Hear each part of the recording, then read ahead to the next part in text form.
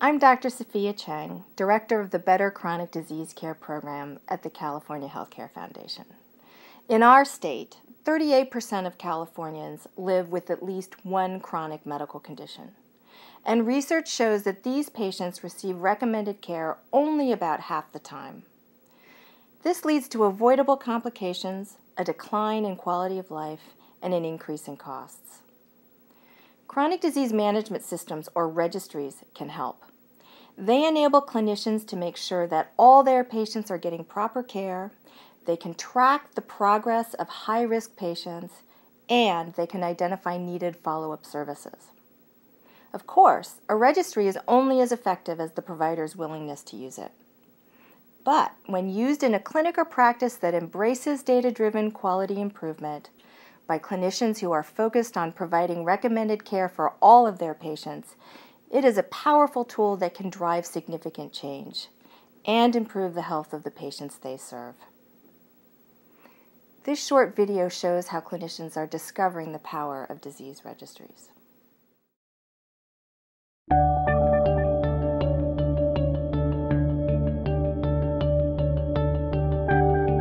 Promise you that the work involved in seeing patients day to day, we can't find enough ways to make that more efficient because the paper and pencil ways of trying to track that and then to try to manage a population is just impossible.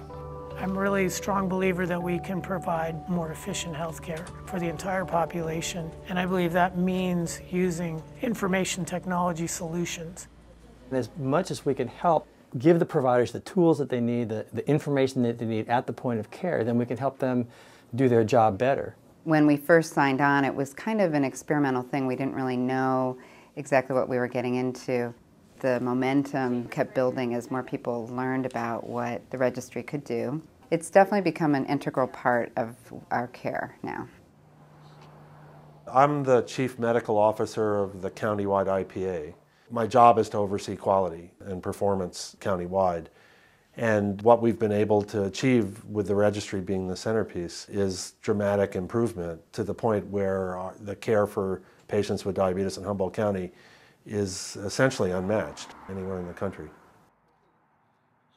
In the chronic care model, the end result you're seeking is a productive interaction between an activated, informed patient and a prepared practice team. And the registry is an immediate, very accessible tool to measure and improve and include the patients in the loop.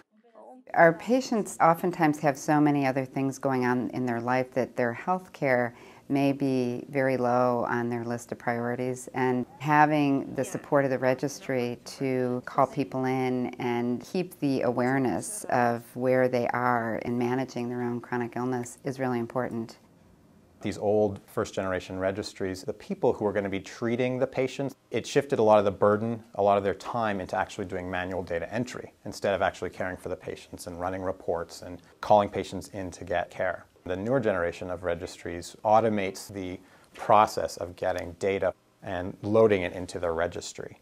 We can look at our population of diabetics and we can ask ourselves what percentage of our diabetic patients have their lipid levels controlled? What percentage haven't even had a cholesterol test yet? What percentage need eye exams? What percentage do we need to screen for depression?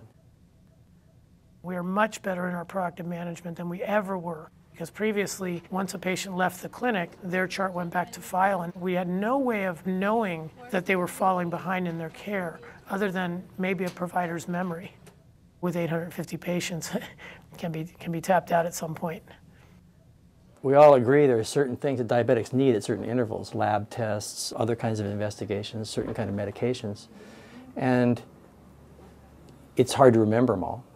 The heartbreaking examples are seeing a person regularly and not noticing that you hadn't done a test and then doing it and it's very abnormal and you always meant to do it. And those are the things that keep doctors up at night um, and not having that happen because this simple, reliable checklist is there that, tell, that doesn't let me forget. Because the doctors have a better picture of what's happening to their patients and those patients that are out of control, there's a much higher chance that they are going to be reaching out to the patients who are at risk. Yeah. Any big problems for today? Um, no, I'm having trouble eating regularly though. If the patient's here for a diabetic visit specifically, and if they're interested and motivated to find out, I can go into this registry and I can show them a graph of the A1C levels or of their blood pressure or of their weight or things. And some patients really respond to that.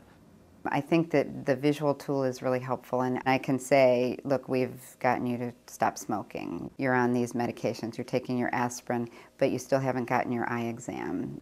You know, it's revolutionary from the standpoint that we can look at our population and then actually act on the data that we have to try to make changes. And then when we don't see a change, we can act again. We can do more proactive management that way to try to find where we can actually impact the care we give. Rodrigo, why don't we bring up this chart and see if we can go over it together and enter the data we need for today. Okay.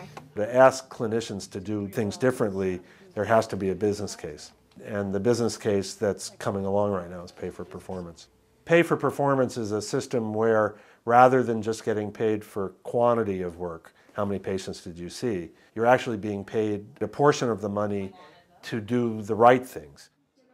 If you are paying your physicians and your clinics on a series of measures and you set high standards, then the clinics and practices are going to very quickly realize that they need tools like registries in order to meet those high standards and they'll make those investments and then they'll be rewarded for it.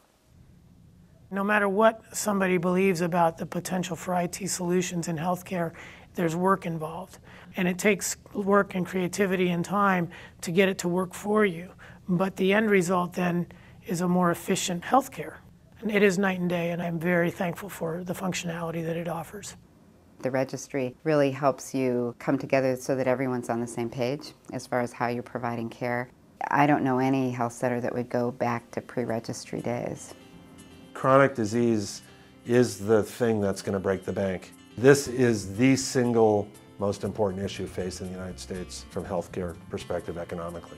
So I think the top priority in healthcare now has to be chronic disease. And I think tools like the registry and, and the changes in the nature of practice that a tool like that helps bring about are the answer. And we know what works. The issue is how do we spread that widely and get everybody doing it effectively. And we don't have much time.